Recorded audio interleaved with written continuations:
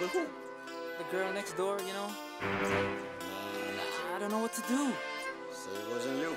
Alright. Honey came in and she got me red-handed, creepy with the girl next door. Picture this, we were both butt naked, banging on the bathroom floor. How could I forget that I had given her an extra? Funny if when I did It Wasn't Me, we wrote that record and our manager didn't like it. And uh, so I, I decided to give the record away because I felt that it was such a massive hit record. You know I mean? I ended up voicing Rayvon on it. We voiced Notch from The Born American. We voiced uh, Wayne Wonder. You know, uh, a lot of people was just trying to give this record away. And we had an A&R, a new A&R was given to us by the name of Hans, some German, white German guy, and he walked in the studio and my producer and I, Sting, we just playing him a bunch of records and we say, yeah, we got this joint and nobody's feeling, you know, what, and he, we played and he was like, dude, I'm just a white guy here, but that's a hit.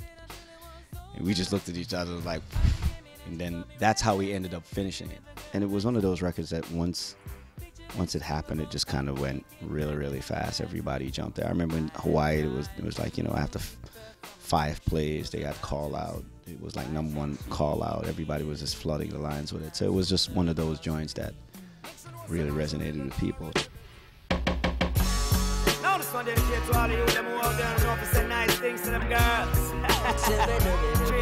I think with Angel, it was a little bit. I think I was in South Africa when that happened, uh, when it was number one, and everyone was just going because we were doing the European side of things. So I, I didn't feel that energy and that magnitude of madness that was coming off Angel because I was just on the other side of the world, just really promoting. It wasn't me at that time.